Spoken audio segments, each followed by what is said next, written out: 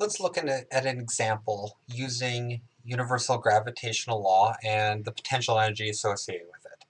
And the what we're going to look at is kind of an interesting example. We're going to look at how much energy does it take for this ball to essentially escape the planet. So how much energy is required if we were to start it off, what's its initial velocity uh, to get off the Earth's surface and travel to some point in space where the Earth is no longer affecting so we call this escape velocity, or the velocity that the object needs to escape from a planet, or from the Earth's orbit. Well, the Earth has certain requirements. It has an initial uh, distance away. We are at some distance away. We're at the Earth's surface, so 6.378 times 10 to the 6 meters if we want to use Earth. And also the Earth has some mass, uh, 6 times 10 to the 24th kilograms. So what we're going to do, just same stuff that we've done before, we're going to use conservation of energy. So we look at this, we have initial kinetic energy of this object, we have initial potential energy of this object, and then we're going to look at what happens when it's at its really far distance away. What's its final kinetic energy and what's its final potential energy. And this is pretty straightforward. So first thing we need to do, we go through and we find out that the final kinetic energy is zero. You know, if the object we'd want to find the minimum speed to get this object to be escaped.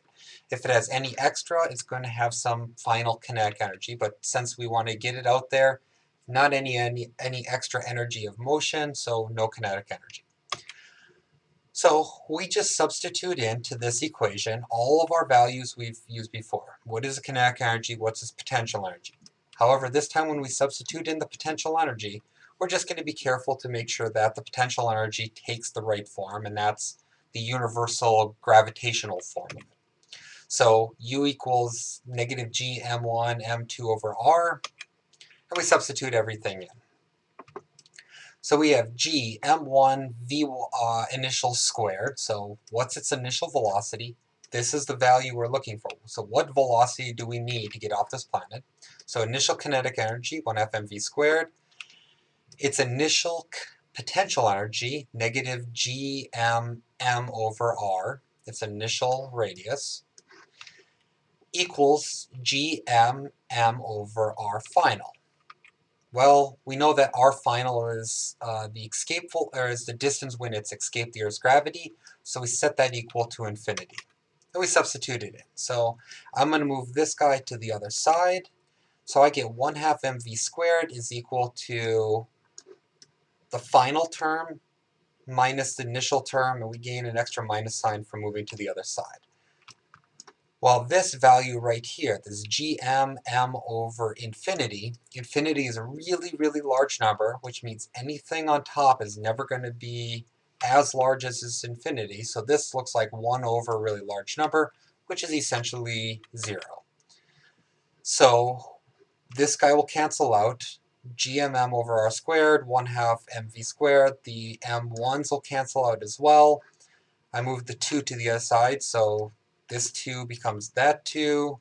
This gme becomes right there. This initial height didn't drop out. This is our initial height away from the planet. We're on the Earth's surface.